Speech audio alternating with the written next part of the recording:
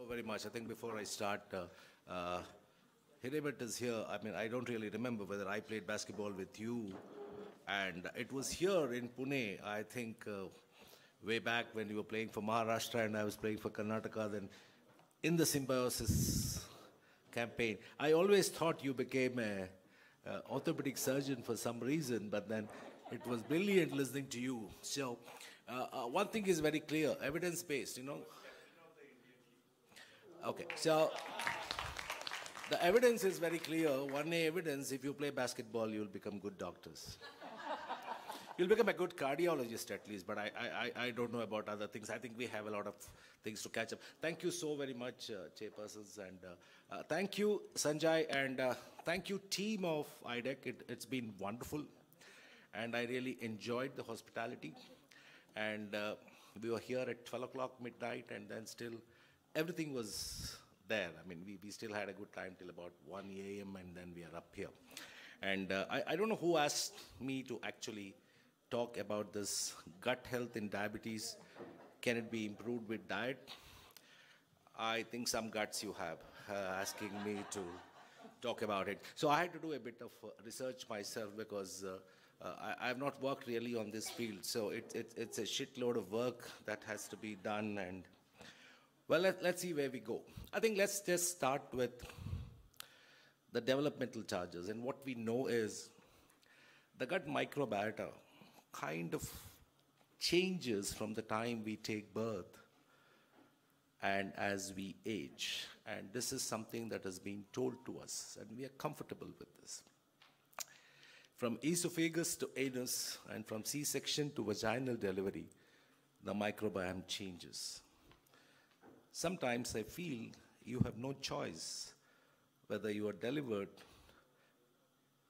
you know, by through section or probably you had a normal delivery, vaginal delivery, because microbiome is supposed to change at that point itself. And as we grow, the changes can happen due to various reasons. You can do a number of tests about microbiome. You know, you can you can take saliva, you can probably take some aspirations by doing an endoscopy, or you can also do some biopsies. Or the best way, of course, is a lot of work with the poo. And this is exactly what people have been doing. The gold standard is to take the fecal matter and do all the tests because that's still the gold standard. So it, it's a lot of poo. And we know that microbiota can be altered to various mechanisms. Lifestyle can change it, Antibiotics can change it. Hyperimmunity, immunodeficiency, hygiene. It must have improved because of the COVID. And most importantly, the topic that we are going to discuss today is can diet actually change the microbiota? That's a question. But before that, when I was making these slides, one thing that crossed my mind was well, we do give a lot of antibiotics, especially 60 70% of the admissions in my hospital for diabetes is because of the diabetic foot. We do give antibiotics for 8 days, 10 days, 12 days, 14 days for foot infections. And then we just add a lactobacillus. Now, I wanted to look in and see how long do we have to give this lactobacillus? Is it one week, two weeks, three weeks, four weeks, five weeks? I did not get an answer. I will leave that question with all of you if any one of you are students. What is the period of time that we have to actually give lactobacillus if we have used strong antibiotics for a period of 10 days and 14 days? Because we still don't know this thing. And I tried my best to see whether I can get an answer when I was making this. I didn't get an answer. So I leave that question to the audience. I think this is something that we all can search. Different things have given different things and most of them said you give it for a period of six weeks and that's about it because nobody has done any kind of testing on this. So we come back to the question about the diet and the microbiota. We know diet is the crucial regulator of intestinal microflora.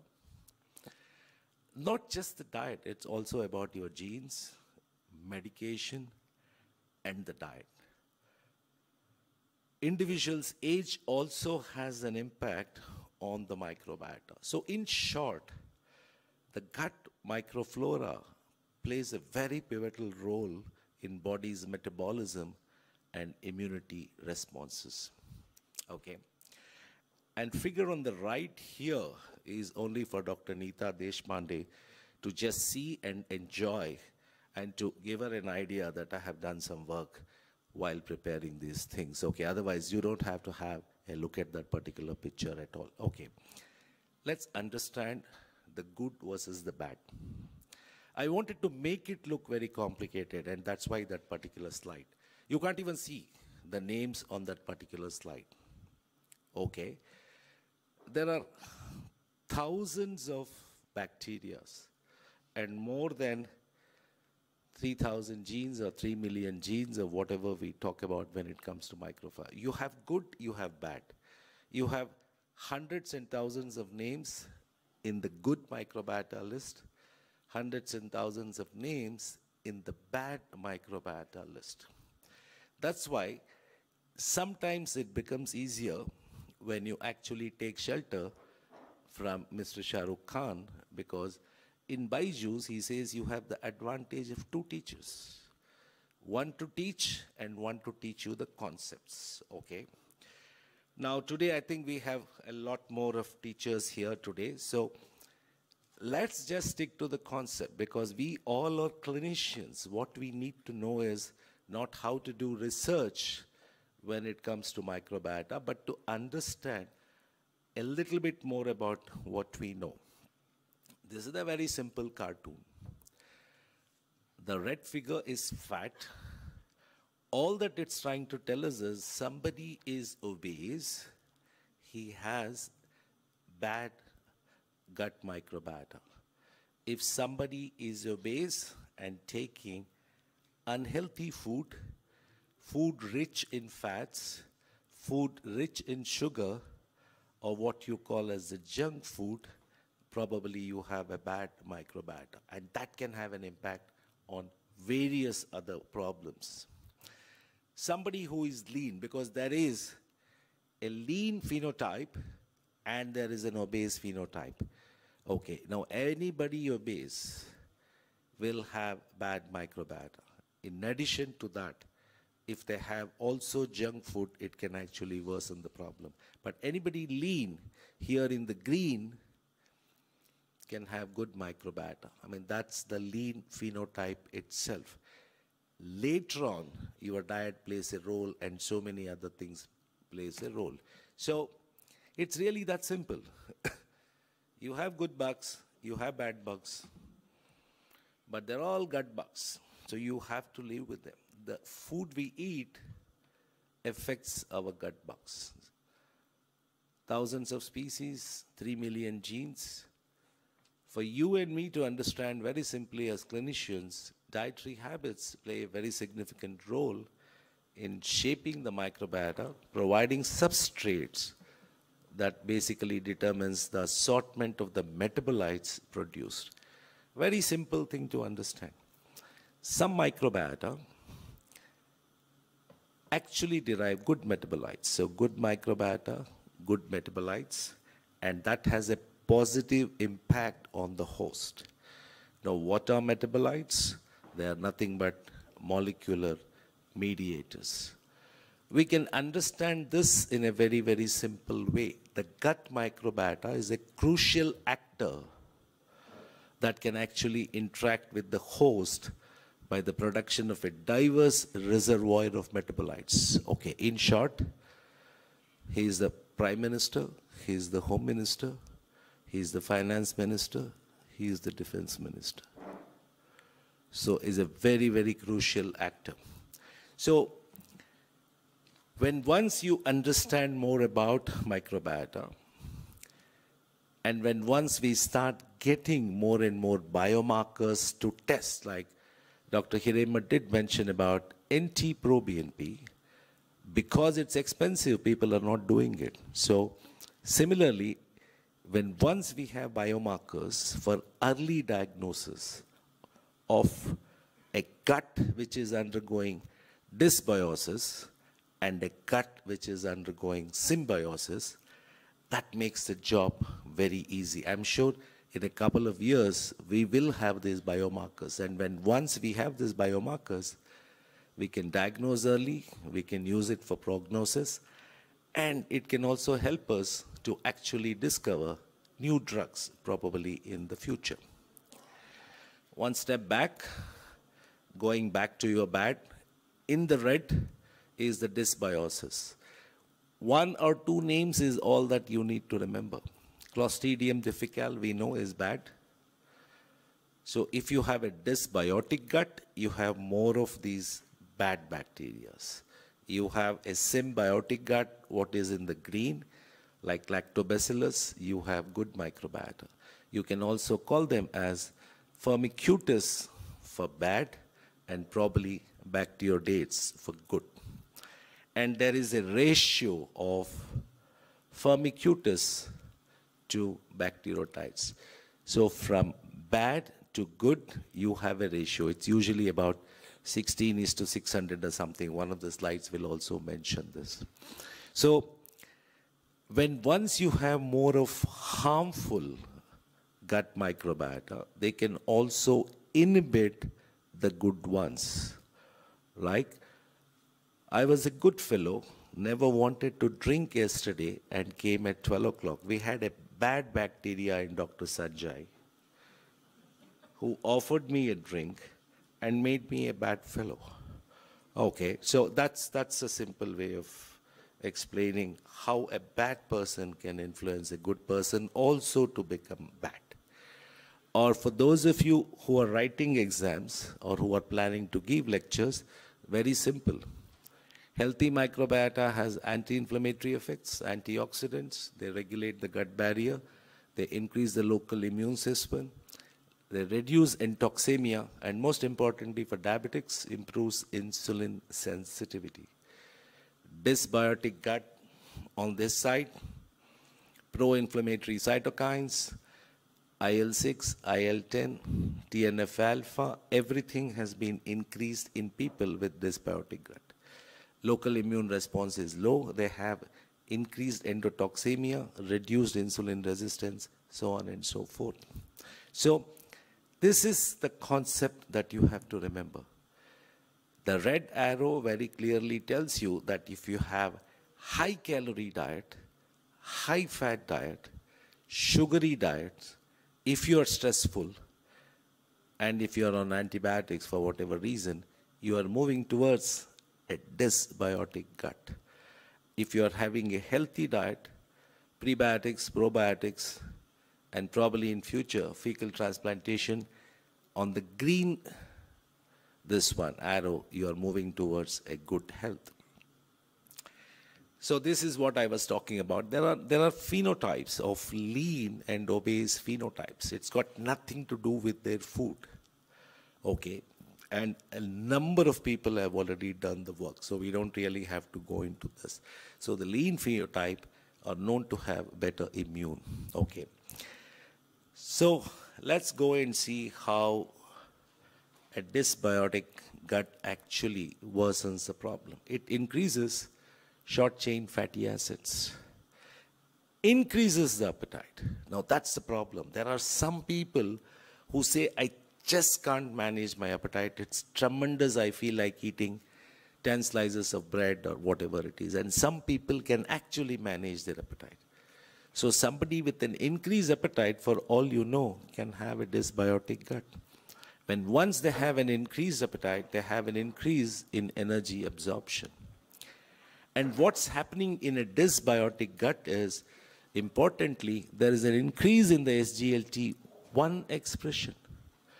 So the diabetes world is actually waiting for twin blockers, both SGLT1 and SGLT2 blockers. When once they're available, I think we should be able to manage a dysbiotic gut probably reduce the absorption at that level itself.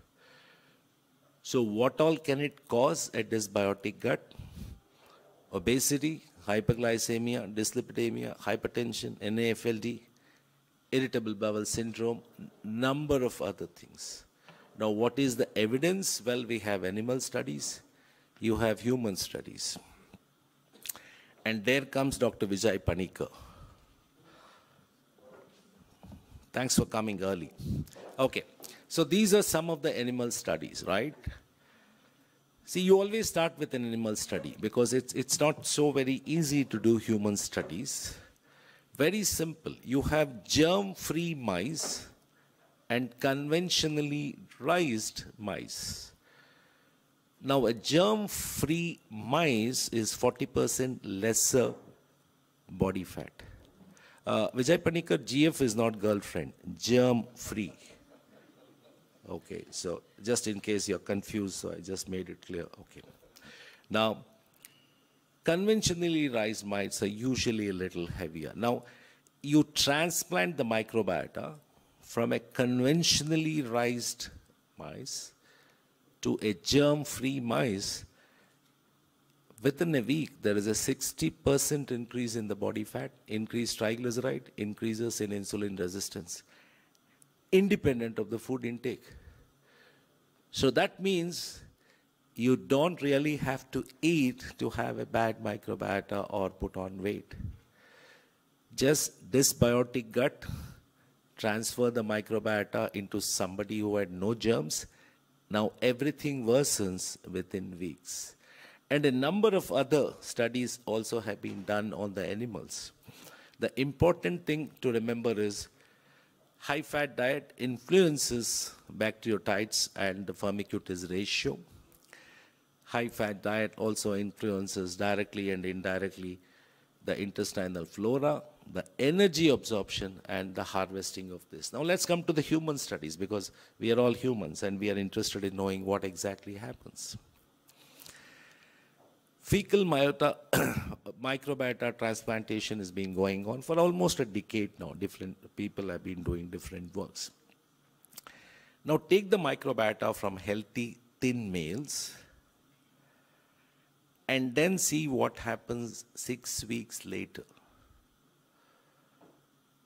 Immediately there is an increase in the diversity of the microbiota, what you can see here on the top reduction in the short chain fatty acids, reduction in insulin resistance, increase in insulin sensitivity, and butyrate producing bacteria increases. They are good ones. So you transplant gut microbiota from healthy thin males to your subjects. This happens. Now, the same person also is the control he takes his own microbiota from his own gut.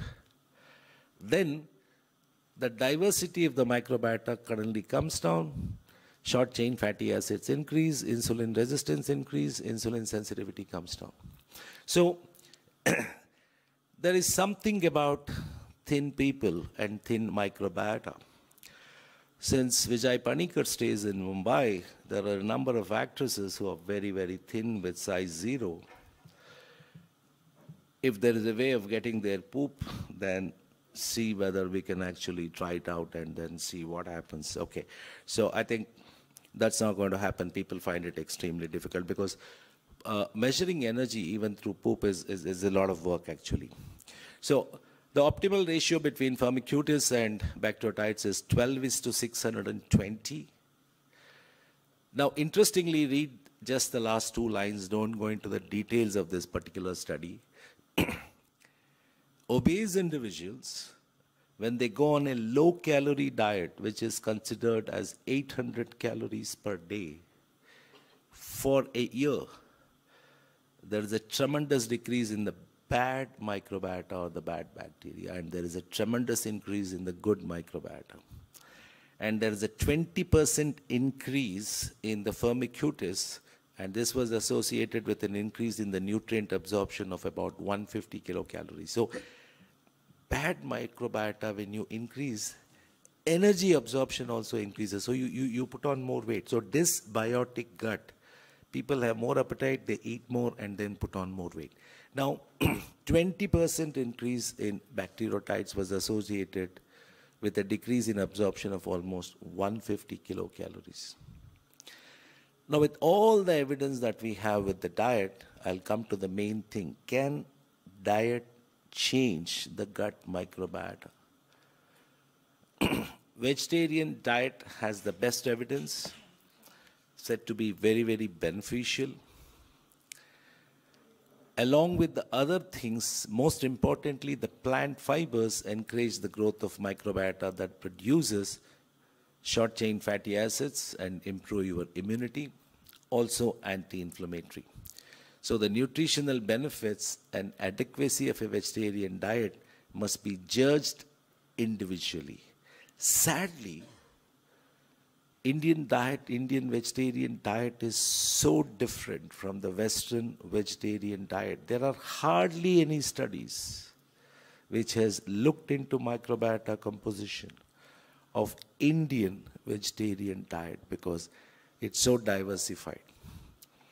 We don't eat vegetables the way a Westerner eats the vegetables. So somebody need to really do this kind of a work and somebody like Nita and group who are doing a lot of nutrition and dietary work, I, I, I, think should start really working on this kind of a thing. It's, it's very difficult to do these trials, expensive, but I think it's, it's worth doing. The future directions, yes, at this point of time, probiotics, prebiotics, vegetarian diet, fecal transplantation. Not that the non-vegetarian food is bad. Well, pork is said to be something that actually pushes you into dysbiosis. Red meat, high in fats, high in calories, known to push your gut to the dysbiotic gut. But if it's fish, if it's chicken, and with the right exercises, maintaining your body weight, you can still have a great symbiotic gut. So it's, it's not that you had to stop eating non-vegetarian food, you just had to be choosy about what you are eating. So summary, the gut microbiota plays a significant role in maintaining the homeostasis of human health. We know the vegetarian diet is advantageous. And most importantly, people with metabolic syndrome and people with insulin resistance must start losing weight so that from dysbiotic gut to symbiotic gut, weight loss can definitely reverse these dysbiotic changes. As long as we can sustain the weight that we have lost, it's going to be great. I think with time and better understanding, the correct therapeutic options will broaden. But at this point of time, we are not too sure what we are dealing with. There is good news for Dr. Hiremath about red wine. But we will not have the discussion. We will keep it for the night. Thank you so very much.